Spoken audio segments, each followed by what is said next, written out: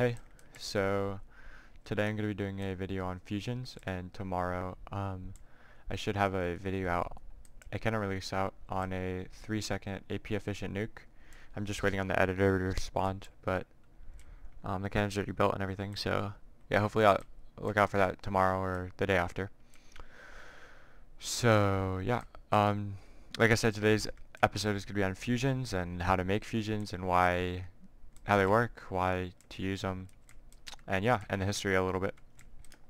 So, um, yeah, so pretty much what a fusion allows you to do is it allows you to use one one block. It, lets you shoot on one block and still stack. So, um, you may be wondering how does that work? Well, as you can see, well, let me just show you. As you can see, a fusion uses a flat guider instead of a offset guider like a normal cannon. Um, see how you can see uh, they're offset. And also don't worry, I'm going to be showing you how to use it in a modern cannon as well. But this is just um, the concept at first. So pretty much what happens is you have two shots. So you have one of the sides boost off and then the other side boost off. So as you can see over here, um, this is six or five ticks, right? So you have one one side on five ticks, and then this side is on seven ticks. So they're two ticks offset. That's what you typically want to do. You can do three. You know, some people change it up, but you know, typically I use two. Um, and yeah, so you'll have both of your shots boosted into right here. So you have two shots here. So first, what will happen? You'll have your sand come in. Only your sand. Your first shot will go off and your sand will hit the wall.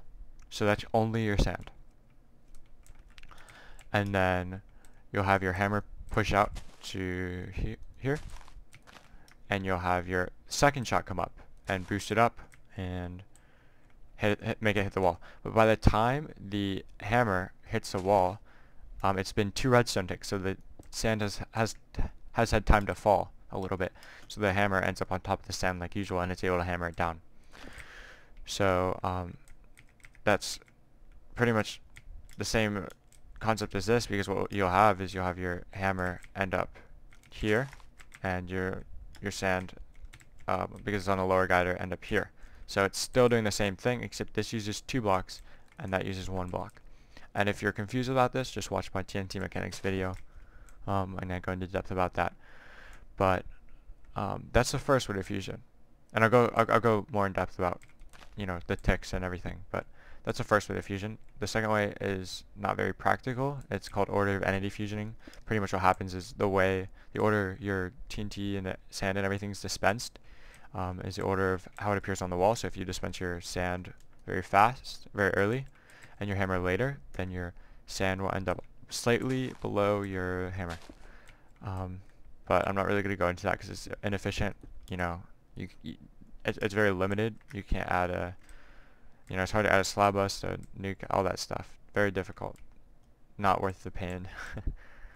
so yeah, um, let me show you a little bit how or why they were created. So if you can see, many of you um, newer players haven't seen this before, or newer newer cannoners maybe maybe you have, but um, they are actually called triple filters.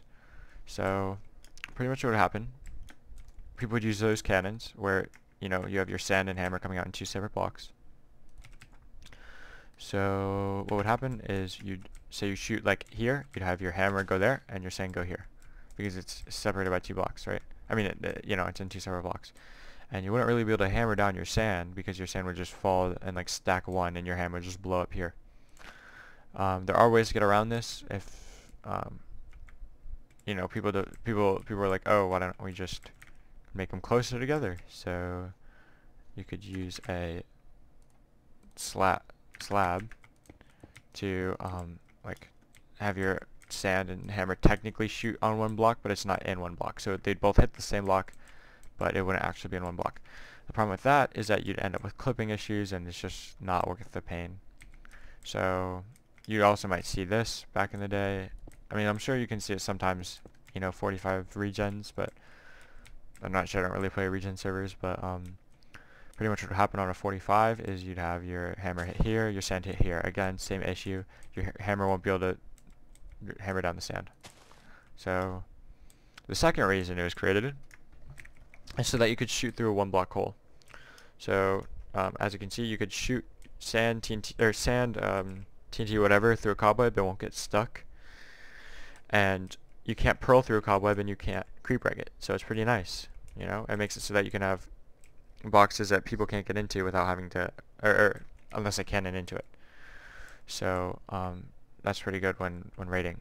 What people used to do before this is they'd have piston doors open and, and close whenever they wanted to fire. So they'd open it, fire, close it. But uh, then again, you you can still walk in that when it, you can still walk into the cannon when it's when it's open. So not not the best way to raid. You know, if someone can just walk into your cannon. But um, yeah, so let me show you the example of the fusion. Excuse the wiring. I just built this like very fast, just as a demonstration cannon. Um, but yeah. So if your first shot come in, it'll be sand, and it'll fall a little bit, and you'll have your hammer, as you can see. Um, so I'm gonna show you over here. This will be, I'll, I'll go into text over here. So um, this is my quick print that I built. I'll be releasing it in the near future. Um, pretty much, you know, used as like a small cannon you can just easily print in. Um, so yeah, I'm just going to show you the fire real quick and you can see the sand hitting hopefully before the hammer gets there. This doesn't have a nuke or anything, it's just a very small cannon. Let me toggle TNT and sand. So you can see it a little bit better.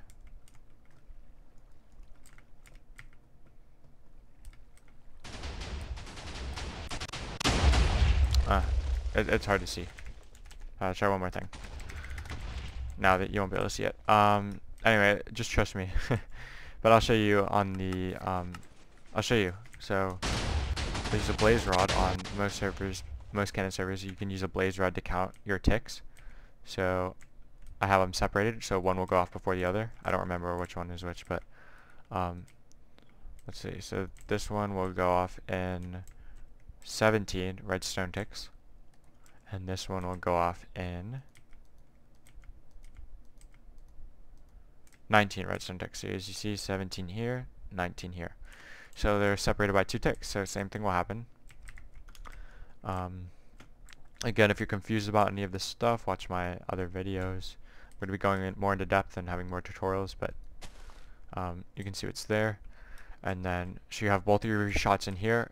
First, what will happen is your sand will come in, and it'll hit this trapdoor, and then your first power will explode, so your sand will go up. Go over, go here, your sand will hit the wall, and um, next will happen is, so you only have one shot left, so next your hammer will come in. It's triangulated here, just don't worry about it. Uh, I can I can explain that in another video, but um, your hammer will come over here, and your your your, your second shot will blow up, and it will go up same direction as the sand, hit the wall. But by the time it hits the wall, the sand would have fallen because it's two redstone ticks earlier than the hammer, and it will hammer down, and that's how you fusion. So let's go into the ticks a little bit. Um, I'm gonna have a video explaining how to wire everything um, soon because I think that's very, very important. Um, but this is just a basic rundown on how you do it. So you want to separate, like I said, your two powers by your your powers by two ticks, um, two redstone ticks, and um, you can do three if you want, but I just stick with two. Um, maybe it'll be easier. On, no, it'll be easier on this cannon. So you'll separate it by two, and then you'll have your your sand come in, either one or you, you have you shoot your sand from your from this booster, one or to I would say two or three redstone ticks before your power. So you shoot it out before your first power, sorry. So you have it two or three redstone ticks before your first power.